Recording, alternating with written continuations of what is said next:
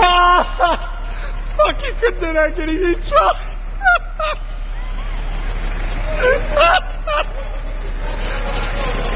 I'm fucking genius.